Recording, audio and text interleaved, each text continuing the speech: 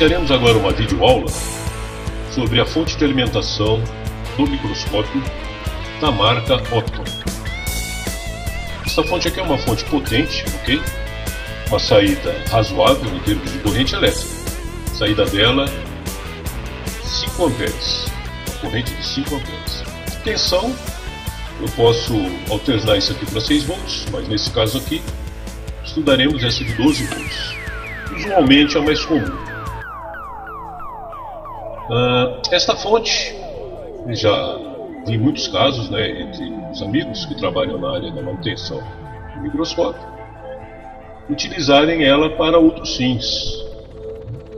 Um dos fins que eu observei que já foi utilizado, ela é usada também em alimentação de coca-fita, carro, e também até para carregador de bateria.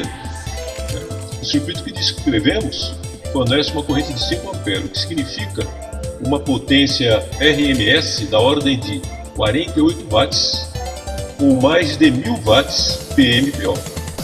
Com isso, aparelhos de potência razoável podem ser também alimentados por essa fonte. Okay? Outros tipos de equipamentos que podem ser ligados a esta fonte são os, os transmissores PX, né, que estejam também dentro dos controles e das especificações legais. Né? Bom, vamos lá. Finalmente, ajustando a saída da fonte para uma tensão de até uma ordem de 15 volts ou mais, e com resistor limitador é possível usá-la também como um ótimo carregador de baterias de carro ou de moto. Os circuitos dos componentes é bem simples. Como funciona? A tensão de rede é reduzida com a ajuda de um transformador. A corrente desse transformador é que vai determinar a corrente máxima da fonte. O aluno poderá usar um transformador menor se ele quiser, dependendo do consumo do teu microscópio. Para você ver, essa fonte ela é bem diversificada e bem flexível. Necessariamente, ela não é, obrigatoriamente pode ser usada apenas nessa marca de microscópio. Né? Você verifique as especificações técnicas dos outros microscópios, o consumo de corrente e você pode adaptar essa fonte para outros microscópios. Porque existem micro, microscópios aí com fontes blindadas, que a gente não sabe o que tem dentro. Né? O fabricante faz isso que é para ninguém copiar ou tentar fazer uma paralela. Mas essa daqui é uma condição. Por quê? Porque você sabe qual é a corrente consumo do, da lâmpada, né? E normalmente o microscópio biocular ou, ou, uniocular, a lâmpada é 6 ou 12 volts, uma faixa de corrente de 1 a 5 amperes. Bom, vamos lá. Após a retificação e filtragem, né, pelos diodos C1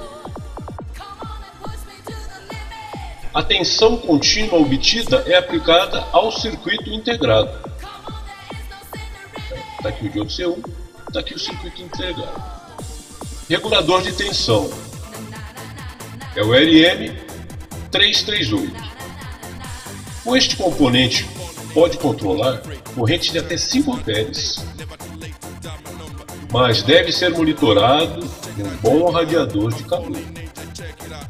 Feito? Aquecimento é alto. A tensão de saída desse regulador é ajustada em P1. Temos finalmente o capacitor de acoplamento em C2, que é ligado em sua saída. Ok? Se você pegar o datasheet do LM338, vai ter todos os detalhes da sua montagem. Nessa figura 1, temos o circuito completo da fonte de alimentação para microscópios Opton. Na próxima figura, na figura 2, temos a disposição dos componentes de uma placa de circuito impresso. Ok? Observe que as trilhas da placa do circuito impresso onde, onde passam as correntes elevadas, elas são bem mais grossas. Esse detalhe é muito importante na montagem ou na manutenção. Eu já peguei casos nessa fonte aqui e a resistividade de um ponto até outro ponto da, da trilha estava altíssima. Né? Então, quer dizer, colocando a placa toda deficitária. Então, a necessidade de se fazer outra, né? O transformador fica fora da placa, no outro circuito impresso, ok? Este circuito, este circuito impresso e o circuito integrado regulador de tensão deve ser dotado de um bom radiador de calor, daqueles preferencialmente bem grande. No caso, a própria carcaça da base do micro. O LED deve ser o indicador da fonte ligada. Normalmente esse LED, esse LED aqui a gente coloca no botão externo, né? Daquele liga-desliga. O fusível como elemento de proteção, caso ocorra algum problema no funcionamento do circuito. Embora o circuito integrado seja protegido contra curtos, outros tipos de falhas podem ocorrer, como por exemplo, um transformador. A saída do aparelho de alimentação deve ser estudada pelo próprio montador, uma vez que você tente aplicar essa fonte em outros tipos de equipamento ou em outras marcas de microscópio. Uma ideia é montar o sistema uma caixa com gaveta, né? É, a parte do microscópio que você estiver fazendo a adaptação. Dependendo do volume, do tamanho desse micro né, e do consumo de corrente, não aconselho ele ser montado no próprio microscópio. É, eu já fiz esse tipo de adaptação, montando ele sempre do lado de fora.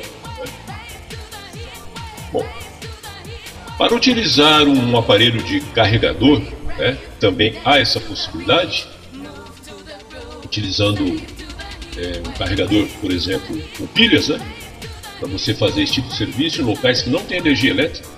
Já tive vários pedidos nesse sentido.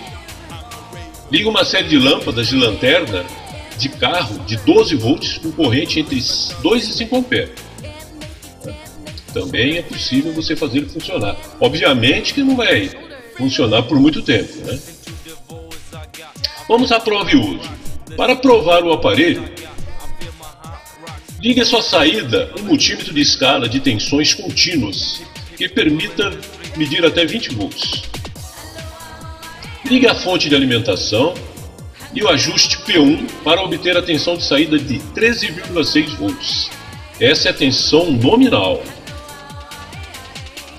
Se a tensão não subir até, o, até esse valor, você poderá ter problemas com o transformador. Verifique se a tensão de C1 está acima de 15 volts, ok? Não esqueça. Feito o ajuste, basta testar a fonte ligando a sua saída à lâmpada. Ligue direto à lâmpada. Ela deverá acender em seu brilho máximo. Observa bem que nós não estamos usando aqui o potenciômetro, perfeito? Ao ligar algum aparelho na saída dessa lâmpada, ou uma lâmpada é, desculpa, na saída desse microscópio, dessa fonte, ou uma lâmpada de microscópio, nesse caso, o aluno terá duas opções.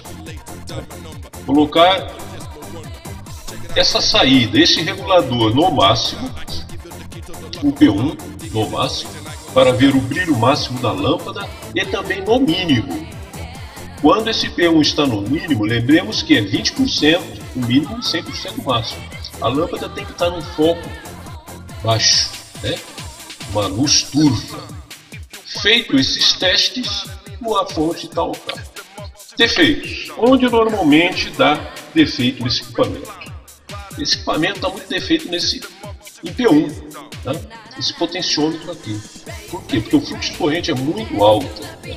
Por melhor que seja o potenciômetro, ele o tempo de vida útil dele pequeno, ok? Superaquecimento nas trilhas, dependendo do dissipador. É, utilizamos sempre uma, uma pasta que térmica, né? ligada direto à carcaça, ao CI, para que a dissipação seja boa, né? E nessa área tem muitos esquecidinhos que deixam o microscópio ligado direto. Ele não é feito para ser ligado é, 4, 5, 6 horas constantemente, ok? Aqui uma explicação bem básica, tá? Os componentes utilizados é o LM 338, que é um circuito integrado regulador de tensão, e pode ser nacional ou equivalente. Nós temos D1 e D2, D1 e D2 1N 5402 ou equivalentes, diodos de 5 A ou mais, nunca menos. Um LED normalmente na cor vermelha, perfeito. Também pode ser utilizado na cor amarela Resistores R1, ok? R1 ele é de 2,7K. Está aqui o R1. 2,7K. Ele é de meio watt. Perfeito? Temos também o R2. O R2 é 220K.